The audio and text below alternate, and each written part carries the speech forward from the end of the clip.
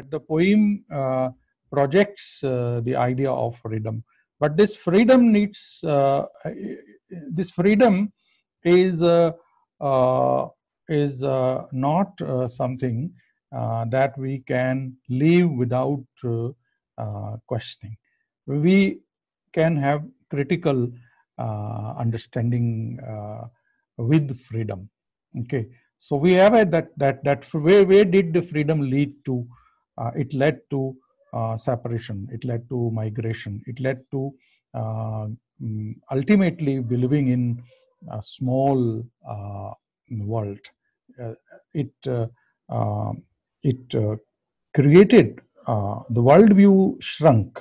Okay, so now does it mean that mother's role is better in comparison to what the poet does? So the, here we have the clash between tradition and uh, modernity. Okay, so the clash between modern and uh, modernity and tradition cannot be settled by individuals. Why? Because individuals do not control uh, uh, tradition or modernity. So who control tradition and modernity? There are larger forces. So modernity, for example, is uh, uh, uh, there are so many things participate in it. Science participates, governments, democracy, and uh, uh, new mode of production, technology, information technology, knowledge, and uh, uh, ideas, history of ideas. Okay, tradition.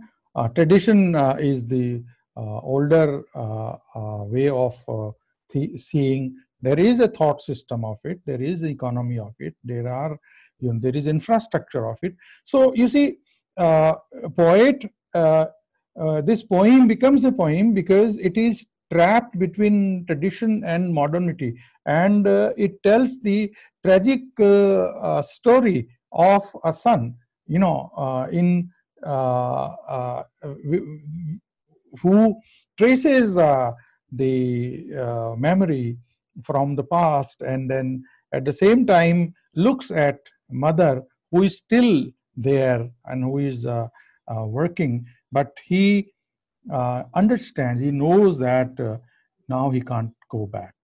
Okay, so he, uh, in a heavy is heavy-hearted manner, uh, is is accepting a new time which is complicated and very complex, burdensome at the same time, freedom at the same time, you know, but uh, no escape from it. I think uh, you got uh, the answer. Mm, yes, sir. Okay. Thank you, sir. Any other question that you have? I can pose some questions. For example, say say examine some uh, examination questions or uh, we can have for example two two, we can isolate two abstracts from this one, which may be uh, uh, put for uh, reference to context. Okay, uh, but one one is where aging father and uh, liberated daughter-in-law. That particular those five six lines we can take. We can take up the last paragraph also, the last stanza also, for reference to context, to for explanation okay. And uh, then sir, yes. Yes sir, sir from that lines unmarried sons and aging husbands and liberated daughters. Sir they are trying to say that those are burden on mother. And mother is taking care of all of them. Yes uh, yeah yeah hmm. burden uh, on mother no, mother has never uh, said this is a burden. Okay so mother for from mother's perspective this is not a burden. uh, but uh, from the uh, perspective of the poet, mother has become a mythical character.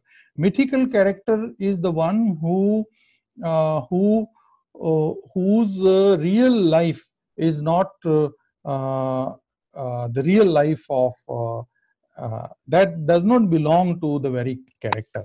For example, uh, Ram. So Ram's personal life or own life uh, does not belong to himself uh, everything then belongs to, you know, for example, mythical character Shiva or uh, Sita or uh, Vishnu. So Shiva belongs to, you know, uh, I mean, does Shiva belong to Shiva or does Shiva entirely belong to others? Okay, so for example, all worshippers or bhakts, they would uh, not like uh, that their gods have any personal life.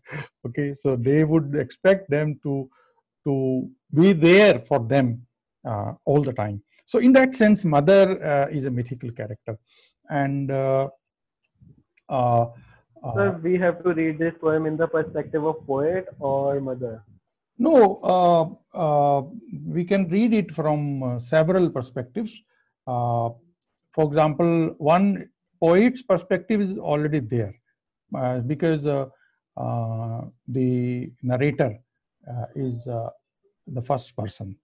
Okay, so as one of the elements of the poem narrator, we know is first person then uh, we may read it from the first two words, uh, uh, the Manipuri words for mother, from that perspective also. From that perspective, we will trace a very different uh, mother, okay, in that language. And then one perspective can be of uh, uh, modern India, a modern Indian perspective. So what is the modern Indian perspective on this point? Okay, one perspective may be post-colonial uh, perspective. Okay, and uh, so you see, each of your writing, may whether novel or poem or a short story, at least you can, you should, I should, I say, you should exercise five, six, seven perspectives.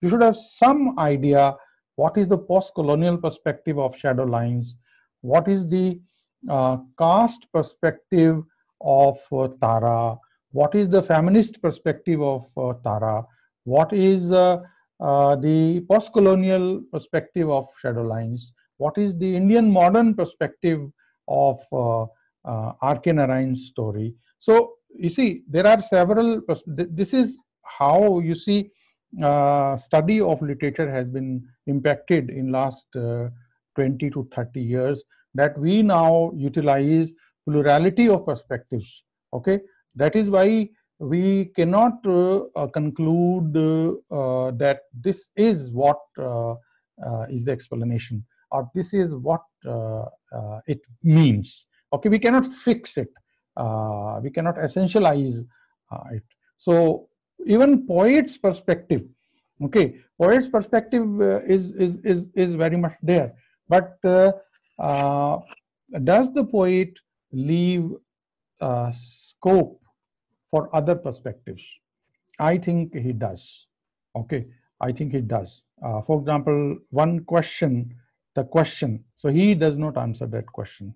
Similarly, uh, uh, when he talks of uh, mother, okay, so the way mother has been uh, has been visualized in this uh, poem is not uh, very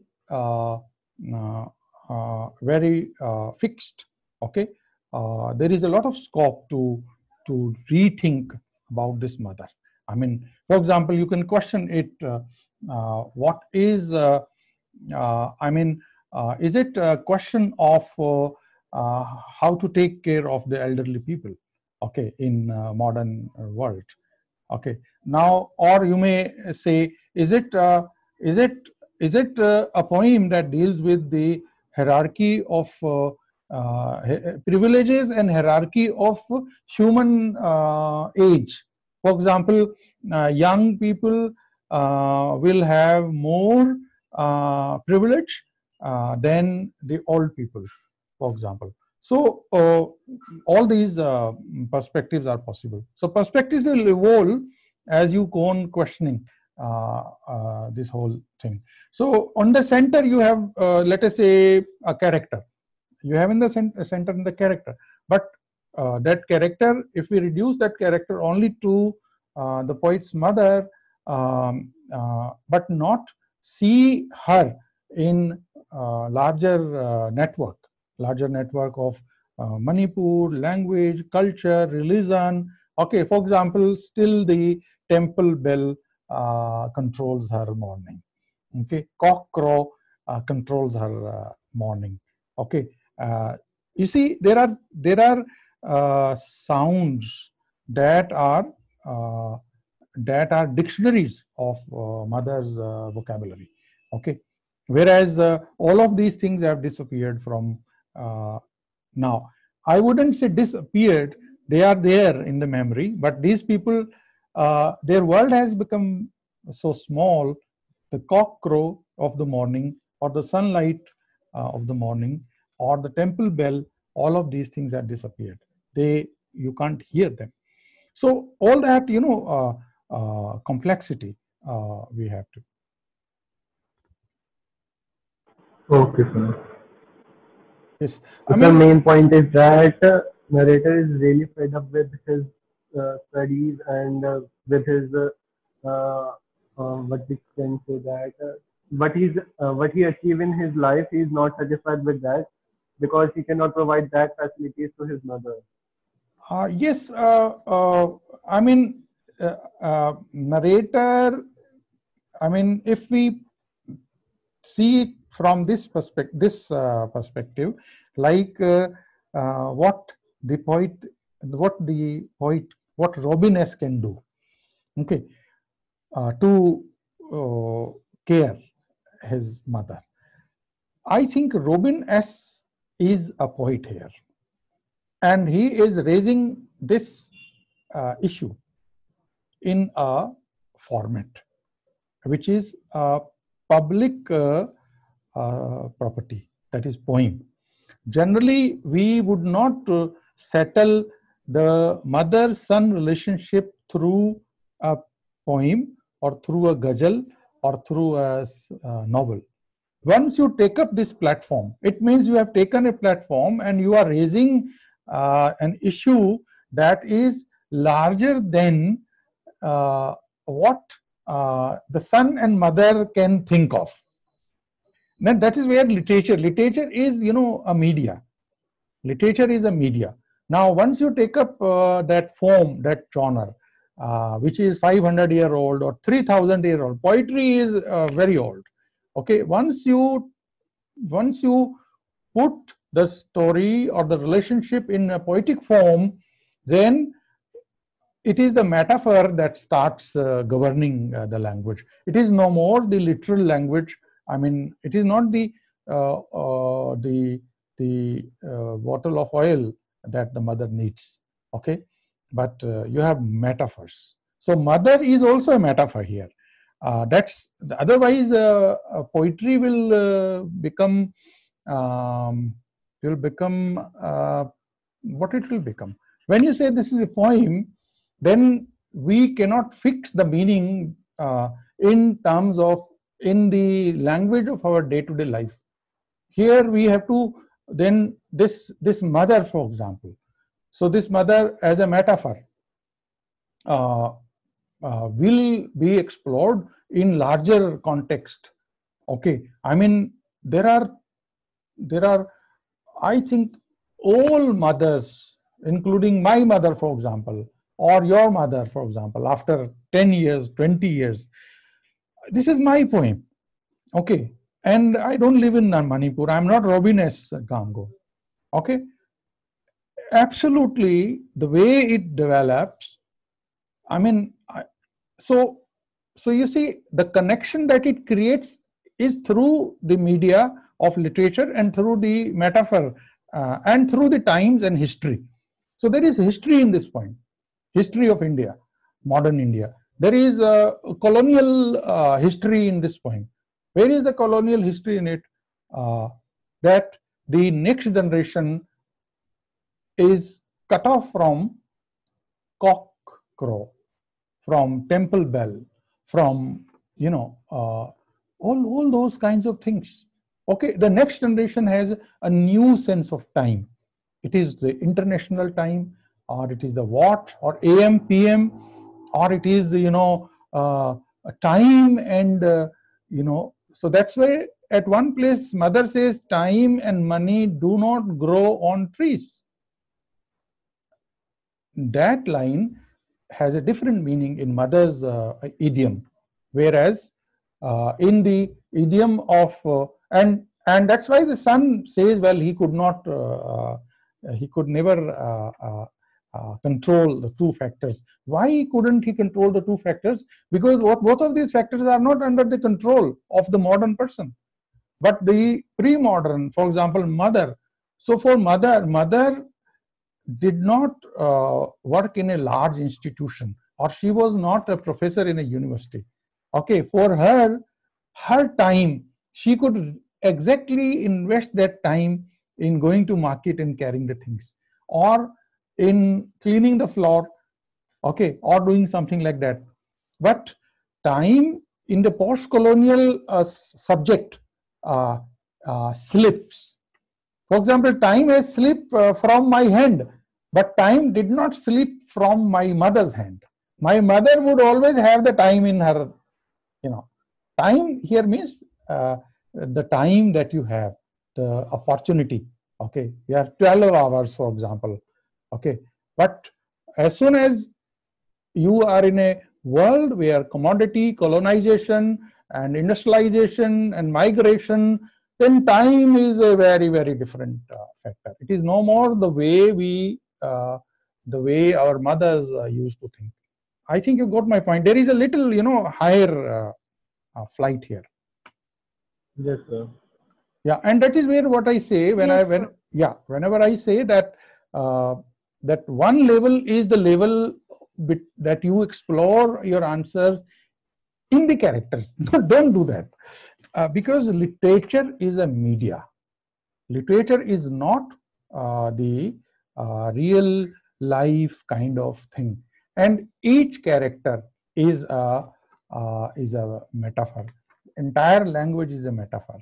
Okay. And we are using uh, that to raise issues, to understand broad uh, things involved. Otherwise, uh, our study of uh, English literature as an honors course will not be fruitful. Uh, why? Because then we are reducing the work of art as if uh, we can fix its meaning the way we fix the name and meaning of our own mother in our life okay so work of art uh, uh, is something that opens up opens up unfolds unfolds. After 20 years 40 years there will be new for unfolding. Okay.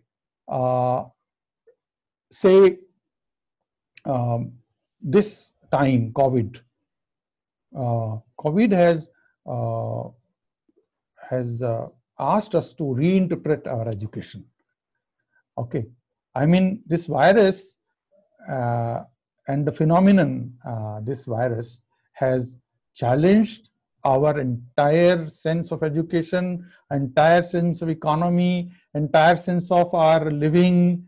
It has challenged everything. So, whatever we thought, say, five months before, okay, for example, now Amitav Ghosh says he is no more interested in writing the kind of uh, novel or stories he did, Shadow Lines, for example.